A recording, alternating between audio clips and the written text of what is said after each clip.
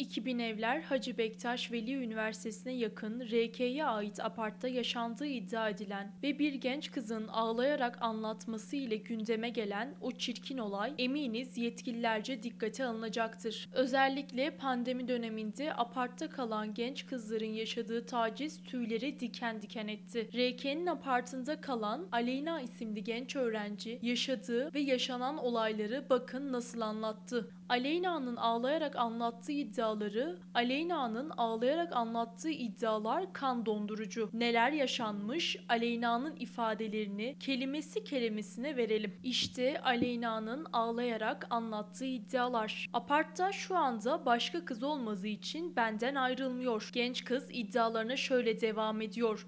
Korktuğu aşikar. Eğer arkamdan yaşadıklarımızı birine anlatırsa herkesi bu apartta olanları duyuracağım. Önceki imam nikahı kıydığı kız Gizem onunla yaşadıklarını başkalarına anlatıyor, alay eder gibi. 12 yaşındaki oğlundan 19 yaşındaki sözde kız arkadaşını kıskanıyor. Sevgilisi olduğunu iddia ettiği RK'nin babasının kendisine nasıl davrandığını bu kelimelerle anlatıyor. RK'nin babası M camiden çıkıp gelip Cami karşısındaki parkta araba içerisinde beni taciz etti.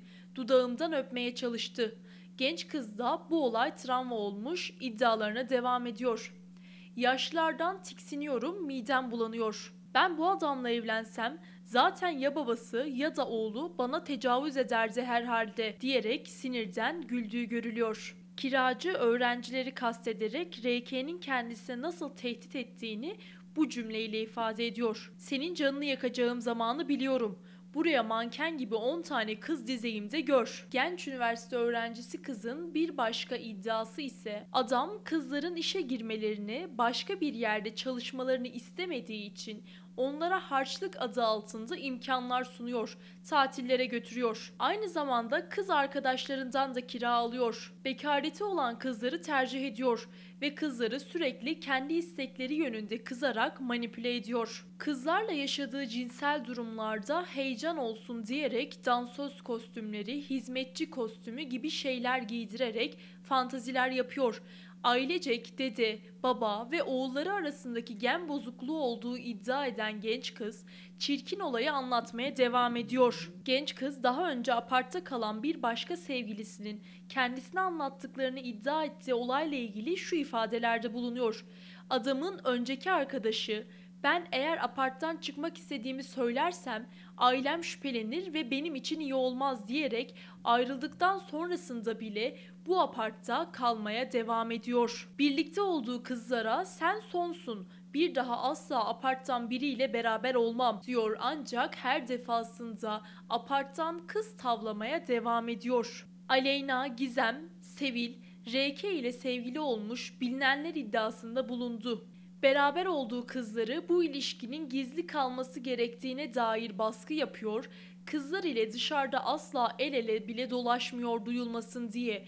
Duyulma ihtimali olunca da panikleyip ayrılıyor kızlardan.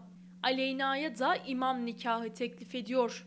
Açıklamasında Allah katında resmi nikah değil imam nikahı geçerli diyerek onları yaşadıkları cinsel birlikteliğin günah olmadığını inandırmaya çalışıyor. İmam nikahı kıydığı kızlara da aynı şekilde ilişkilerinin ve imam nikahı meselesinin duyulmaması konusunda uyarıyor. Adam kız çocuğumun olmasını istemem bu aparttaki kızlar gibi olur diyor. Bir ara büyük oğlu aparttaki kızlara aynı babası gibi dadandığı iddiaları da var. Adam kız arkadaşı olan kızların regli döneminde duygusal baskı uyguluyor. Cinsel birliktelik yaşayamadığı zaman çok sıkıcısın, sürekli adet oluyorsun sende gibi saçma sözlerle kızları zorbalıyor. Ayrıca apartta sözleşmeleri olan kızlar bu ya da benzeri durumlardan rahatsızlık duyarak çıkmalarının ardından kızlara imzalatılan senetleri mahkemeye veriyor. Bu apartta yaşanan çirkin olayların bir kısmını Aleyna'nın iddialarını sizlere ilettik. Eminiz yetkililer gerekli araştırma ve soruşturmayı yapacaktır. Geçmişte neler yaşandığını ortaya çıkartıp gelecekte yaşanacaklara engel olacaktır.